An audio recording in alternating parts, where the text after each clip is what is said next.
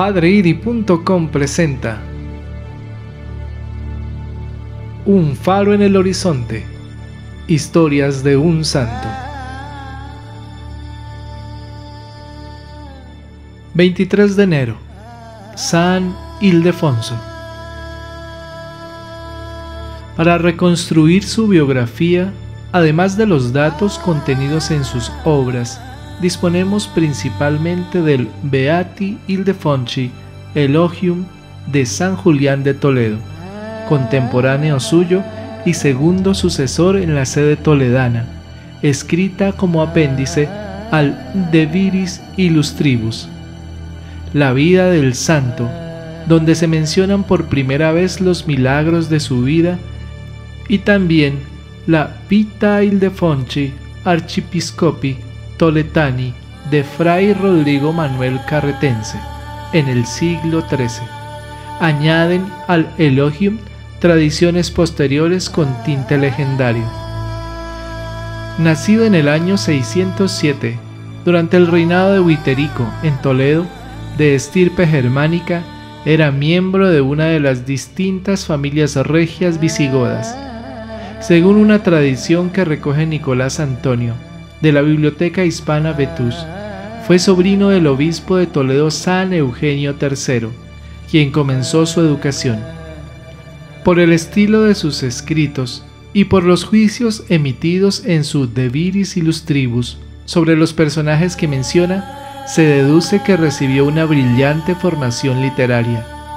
Según su propio testimonio, fue ordenado de diácono en el año 632 por Eladio, obispo de Toledo.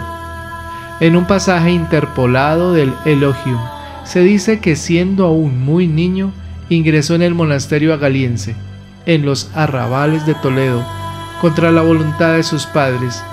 Más adelante se afirma que se deleitaba con la vida de los monjes, frase que debe interpretarse siguiendo al autor Flores en su volumen 276 en el sentido de que desde niño se inclinó al estado religioso. Ildefonso estuvo muy vinculado a este monasterio, como él mismo recuerda al hablar de Eladio, y como se deduce en sus escritos, con los que pretende exaltar la sede toledana y quizá mostrar el papel privilegiado que correspondía al monasterio agaliense. Estando ya en el monasterio, funda un convento de religiosas dotándolo con los bienes que hereda y en fecha desconocida es elegido abad. Firma entre los abades en los concilios octavo y noveno de Toledo. En cambio, no encontrándose su firma en el décimo, en el año 656.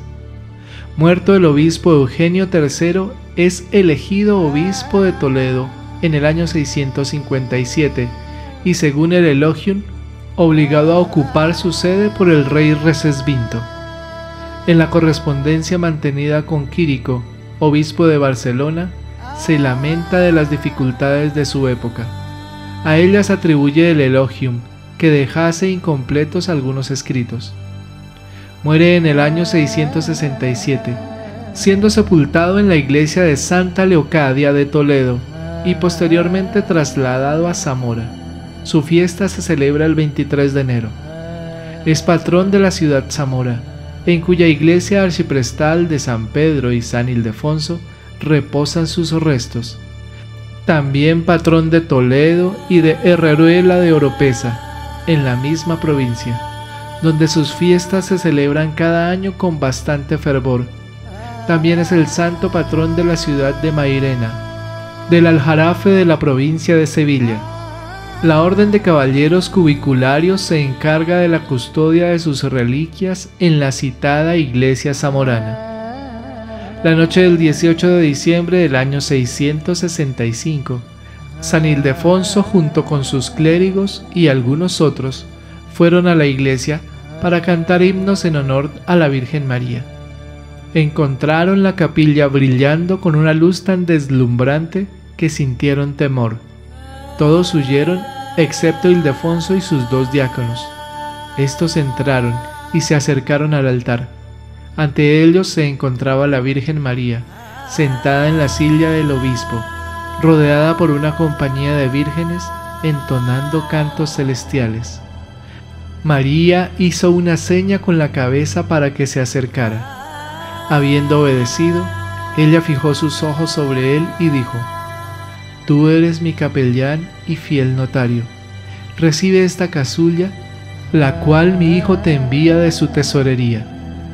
Habiendo dicho esto, la Virgen misma lo invistió, dándole las instrucciones de usarla solamente en los días festivos designados en su honor. Esta aparición y la casulla fueron pruebas tan claras que el concilio de Toledo ordenó un día de fiesta especial para perpetuar su memoria. El evento aparece documentado en el Acta Sanctorum como el descendimiento de la Santísima Virgen y de su aparición. La importancia que adquiere este hecho milagroso sucedió en plena Hispania Gotorum y transmitido ininterrumpidamente a lo largo de los siglos. Ha sido muy grande para Toledo y su catedral.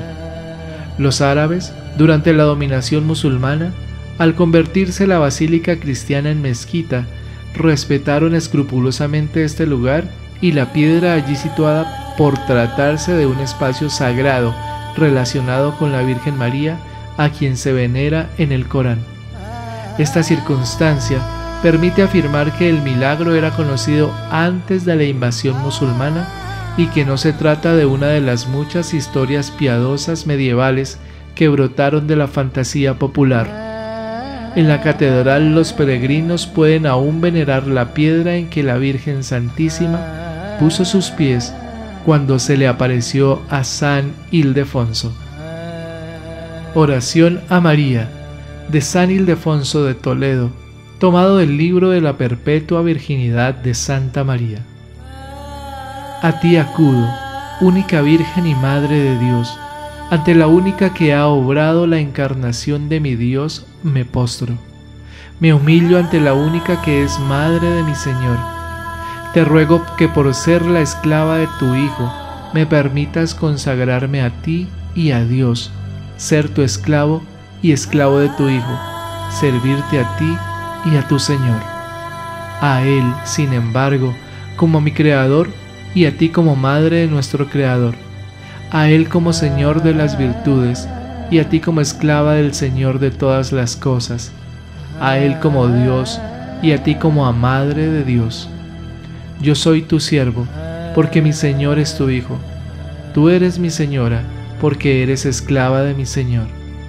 Concédeme por tanto esto, oh Dios mío, Hijo del hombre, creer del parto de la Virgen aquello que complete mi fe en tu encarnación, hablar de la maternidad virginal aquello que llene mis labios de tus alabanzas, amar en tu madre aquello que tú llenes en mí con tu amor.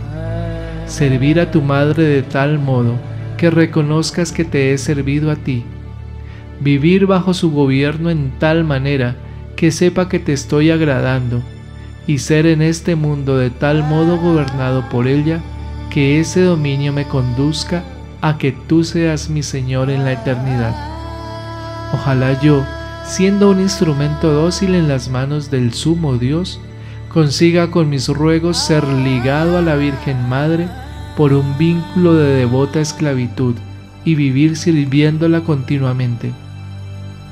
Pues los que no aceptáis que María sea siempre Virgen, los que no queréis reconocer a mi Creador por Hijo suyo y a ella por Madre de mi Creador, si no glorificáis a este Dios como Hijo de ella, tampoco glorificáis como Dios a mi Señor.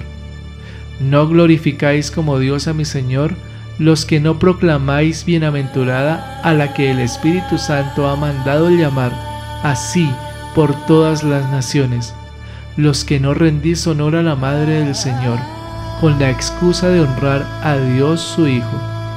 Sin embargo yo, precisamente por ser siervo de su Hijo, deseo que ella sea mi Señora, para estar bajo el imperio de su Hijo. Quiero servirle a ella para probar que soy siervo de Dios. Busco el testimonio del dominio sobre mí de su madre, para ser servidor de aquel que engendra eternamente al Hijo.